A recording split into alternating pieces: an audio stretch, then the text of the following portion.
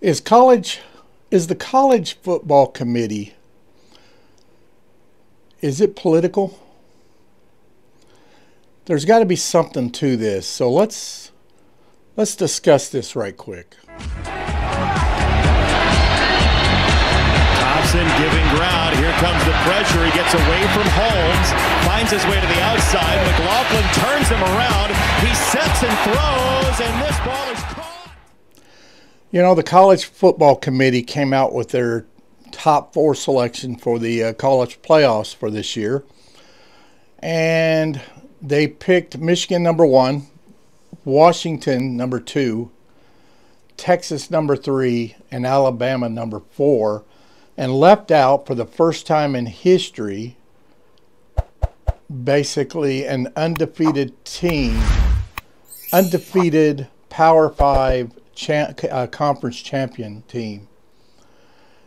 And it goes back even before the college playoffs um, being left out. and so I want to discuss this and kind of wonder did they get this right? And I'm sure I'm going to hear a lot of crap from people. I'm going to hear a lot of remarks about what I'm going to say. And this is my opinion, this is how I feel. But I feel like they, they definitely did ins, a, a injustice to not only Florida State, but to college football in general. Uh, this is going to have a ripple effect to me. Um, it, to me, shows the bias of the SEC.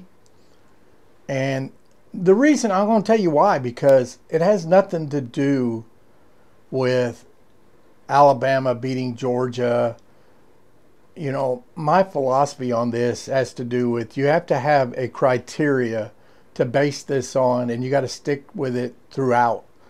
You can't make up the rules each week as you go along. And I know some people have, uh, justified it saying, well, they go by who they think the four best teams are at that time, at, at that point in the week, at each week's different.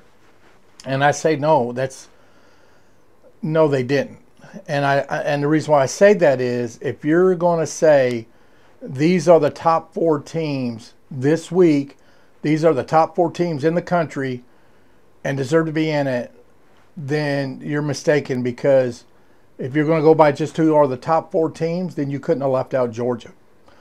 I don't even think you could have left out Ohio State. I could question is really Washington one or even Texas, or even Alabama. Alabama all year has not been the same Alabama team we've seen throughout the years. They took on a wild second luck play to beat Auburn, had to pull it out later against another team. And yes, they played a great game against Georgia and and won, but are they a better team? you know, if I, I'll give you an example if Iowa would have somehow upset Michigan, does Iowa get in? You know good and well they would not have. I know a lot of people say, well, that's because they have two losses. Well, then again, if you're going to go by losses, then Florida State should have got in. It didn't make sense to leave them out. And I, I got to say this. Yes, they're saying, well, you can't leave Alabama. They beat Georgia. Yes, you can. Just like you could have left Texas out before their loss. But then again, if if you had to look at one of them had to get in, then Texas would have been the right choice because they beat Alabama head to head. And I'm going to tell you right now, I don't think Texas would have got in without that win against Alabama. I think they knew they couldn't justify putting Alabama in and not Texas in. And because of that, Florida State was left out. If Texas didn't play Alabama and beat them, if they just wouldn't have played and would have played someone else and won and still had this loss they had, then I believe Florida State would have been in. You probably would have had then Florida State third and then Alabama fourth.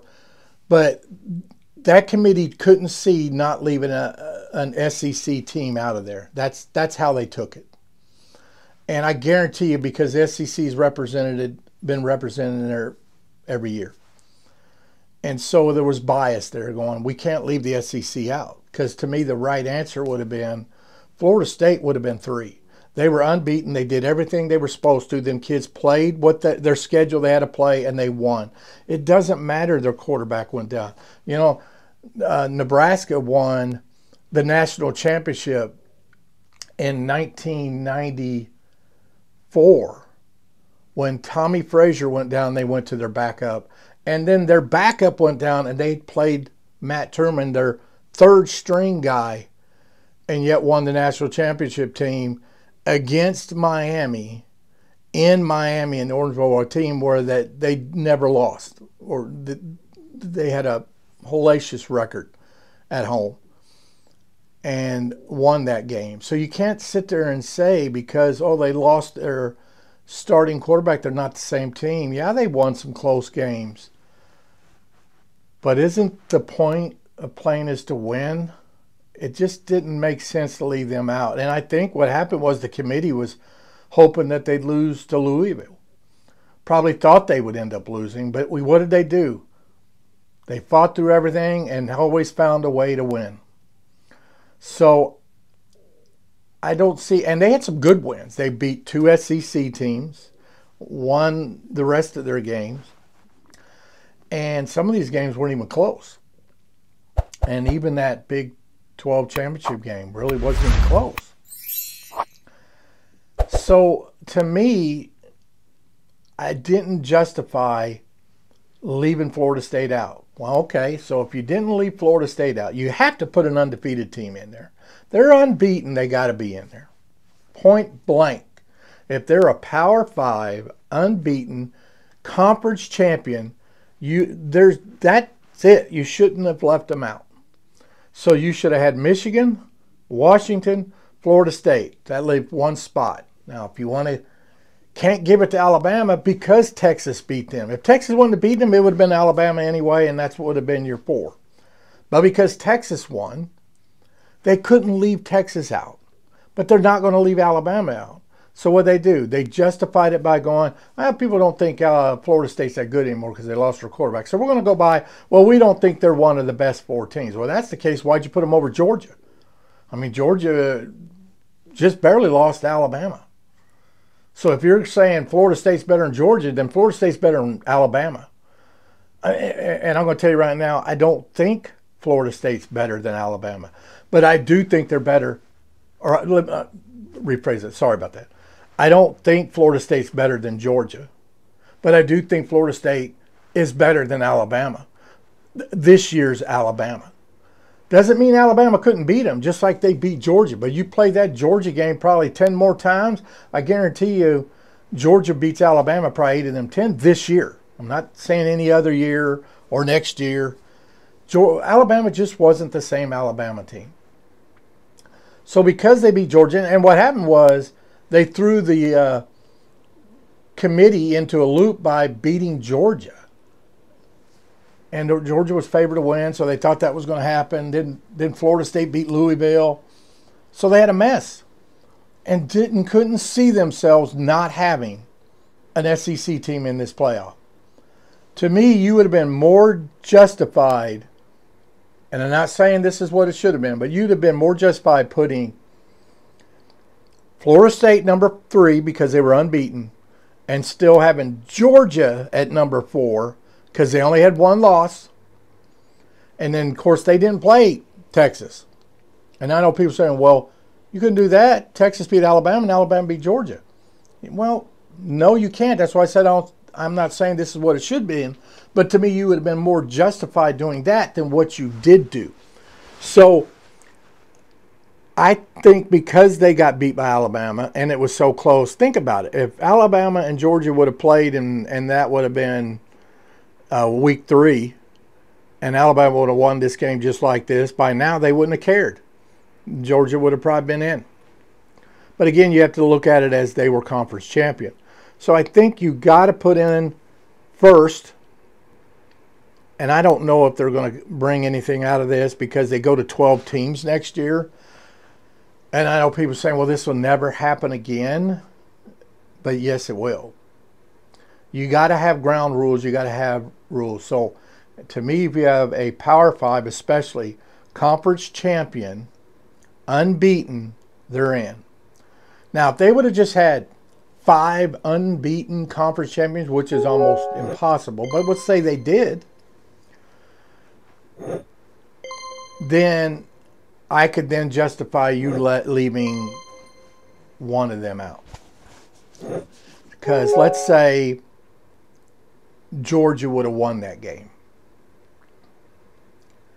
I guarantee you, if somehow Georgia would have went down, kicked the last second, people whatever, scored on the last play and won that game, even by one, Georgia is probably number one, Michigan two, Washington three, Florida State's four. Texas is probably five, then Alabama. Guarantee it. And they would have had a justification going because Georgia didn't play Alabama. These four teams are unbeaten, point blank. And that would have been the right answer. But because Alabama beat Georgia, now all of a sudden they're thinking, oh crap, what do we do now? Well, then you move everybody up. It should have been then Michigan, Washington, Florida State, and then, okay, who's the better one loss team? Well, Alabama just beat Georgia, so you're saying, well, I can't do that. I can't put Georgia in there, even though to me, Georgia is probably the better team of them. Texas is good. And you definitely can't put Alabama in over Texas. Not this year. So then it should have been a, a Texas number four. And which met SEC for the first time would not have had a team playing in the playoffs unless you want to count Texas because they're going to be SEC next year. So how I look at it is this year, even though they're not, you have Big Ten against SEC. You got Michigan and Washington. Washington's going to be Big Ten next year against Texas with Texas and Alabama, and Texas is going to be SEC next year. So you kind of got that. But they didn't see it that way. They're saying, well, we can't leave SEC out of this, and then made the, the stupid decision to put in Alabama. Nothing against Alabama. Alabama's a good team, and, and they would have beat almost any, any, other team. I just don't think they're one of the top four teams. Um, and and not saying I think Florida State's won, but when it comes to being unbeaten and won the championship conference championship and it's not like they played light schedule. They played two SEC teams and beat them. One of them being a rival. Florida's a rival. Even though they're SEC, Florida's a rival. And yeah, them teams, LSU and Florida are not the same as they've been. But you can't go by that. So it just didn't make sense leaving them out. I think it put a black eye on college football, and we're going to feel the effects of this for a while because they got to do something on how they make decision and hopefully something will come out of this how they decide what 12 teams go in there. Because people think well it ain't going to matter it's going to be 12 teams. Yeah it depends. Who's 1 and who's 12 who's 2 and who's 11 who gets a home game? Who doesn't? That means a lot especially in college football so they need better rules they need a criteria saying this is what we're looking at this is how it's going to be so it's in black and white, and we know how to not make up rules each week or each year on what they want to do. You can't do something two weeks ago or three weeks ago, four weeks ago, and then this this week you're doing something different on a criteria. Because if you're looking at going, well, I don't think Florida State's the, one of the top four teams, so they don't need they can't get in. Well, then Alabama wouldn't have been in. Alabama's not one of the four best teams. Yeah, they beat out Georgia, but they're not one of the four best teams. I think Ohio State's better than Alabama. I think Georgia is better than Alabama. If you'd have put a one loss Ohio State team in there, or even left a one loss Georgia team in there, and left and put Florida State at number three, I think that'd have been justified. Even though you still got a lot of flack, and you're going to get flack no matter what, but it would have been an arguable flack. It would have been justified. This is not justification. This is bias. This was political. This was them saying we can't leave the SEC out of it, so we're going to do this. And that's the problem I have with it. So we'll see how it turns out. We'll see what, what comes out about it. Uh, but until the next video, guys, go big red.